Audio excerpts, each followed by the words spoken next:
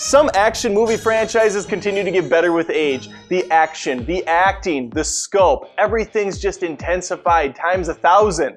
I'm of course referring to Mission Impossible. The Die Hard franchise has become shit. Today I'm ranking them worst to best, and I wouldn't be surprised if our lists line up for the most part, maybe one or two in, in the wrong spot.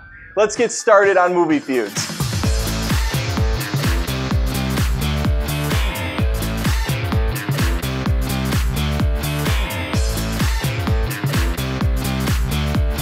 You know what I hate about this movie? Everything. Contrary to what the title says, it was not a good day to Die Hard. In fact, it was a pretty fucking terrible day too. Die Hard is my favorite action movie of all time, so to go from that greatness to this pile of shit is beyond upsetting. No one who worked on this film clearly cares. The script is some half-assed repurpose of an initial half-assed idea. John McClane goes to Russia to begrudgingly help save his son Jack, all while saying he's on vacation. Well, which is it, John? Are you on vacation or are you saving your son? Gotta hate this movie! Bruce Willis doesn't even seem interested here, and it doesn't help that he's bouncing dialogue off Jai Courtney. Planks of wood look at this actor and say, he's pretty dry.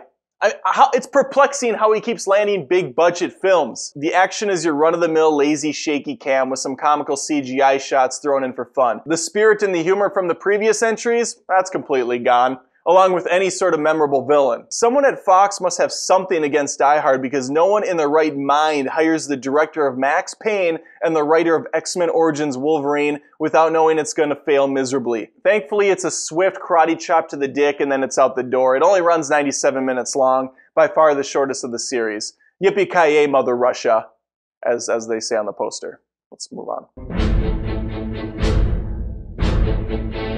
There are two main reasons this falls short for me. Keep in mind I do enjoy Die Hard 4, it's just not the same as the first three. Number one hang up, it's PG-13. It's called fucking Die Hard, damn it, not Die Kind of Hard or Die Limp.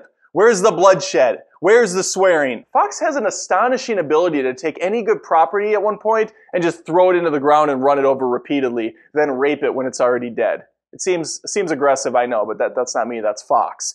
They hired Len Wiseman, which was a fine choice. He did good with Underworld, although I'm not a huge fan of his blue tint he added to everything.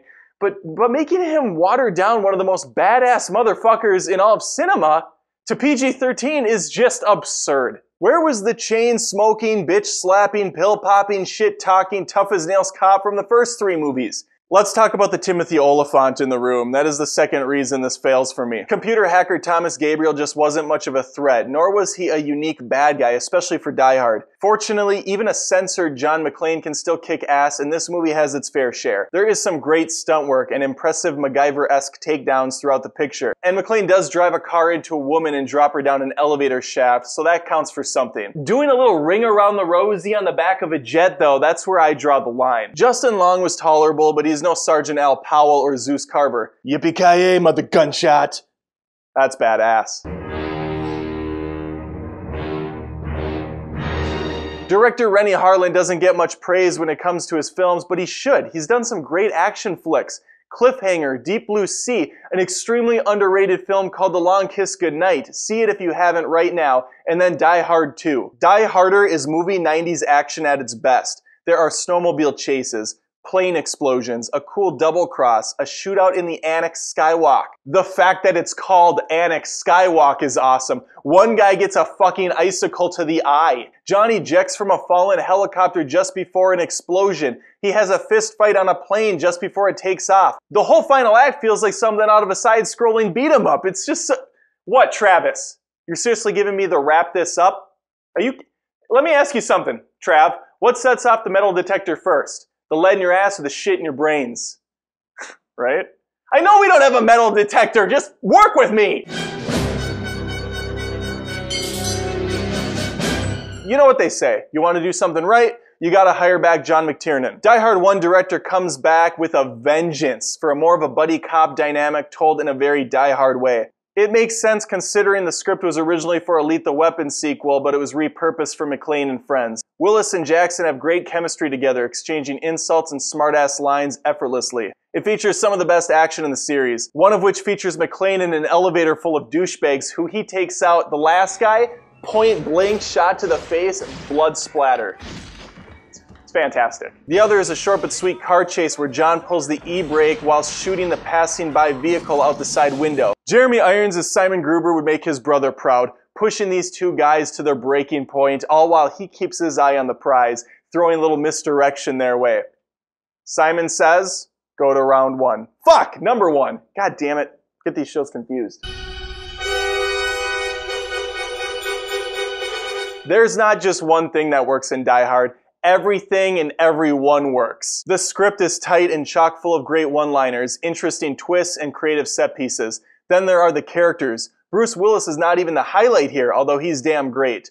The real showstopper is Hans Gruber, played by Alan Rickman. This was his first big movie role, and the studios were shitting in their pants, worried about how he was doing. Some thought he needed to be fired, pulled out halfway through production. But the director and some of the cast members knew wiser. They said, no, this guy is the movie. And they were right. Rickman's Gruber is brilliant. He is my favorite villain to this day. Cunning, ruthless, funny, and above all else, he's different.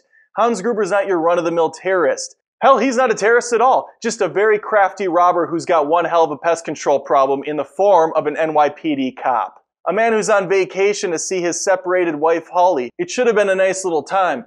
Come to the coast, have a few laughs. There are so many great side characters too, from Sergeant Powell, or as I refer to him as Twinkie Cop, to Holly's sleazy coworker Ellis. Show him the watch. Candace, can we get a clip of Ellis and Gruber talking back and forth for a while? You get out, yeah, drop your donut and coffee, get off your fat ass and do it. She's the worst. Hans, Bobby, I'm your white knight. Argyle, the giant teddy bear, the FBI agents, the computer hacker, aka Dwayne Wayne, aka, oh my god, the quarterback is toast. The dude that's eating the crunch bar while he's waiting for the police officers to rush the building. Then Carl, Gruber's right hand man. You want to talk about a guy that dies hard? That's how you die hard. Hanging from a chain only to fucking get out of it, run outside the building, then get shot up a bunch of times. That's how you die hard.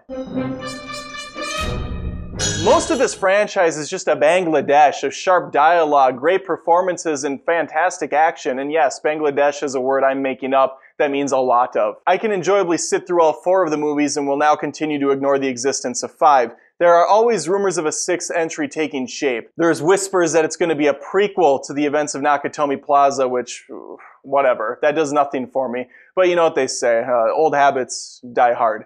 Now I want to hear from you though. Leave your comments below. I want to see your list. I hope they lined up. I think they're going to be pretty close. I'm always interested in what you have to say though. More than just reviews, this is Movie Feuds. Seriously, can we just call the last movie Die Hardest? Would that be would that be so much work? But no, Hollywood's got to be creative with their titles. It'll be something like Die Hard 6, Nakatomi Rises.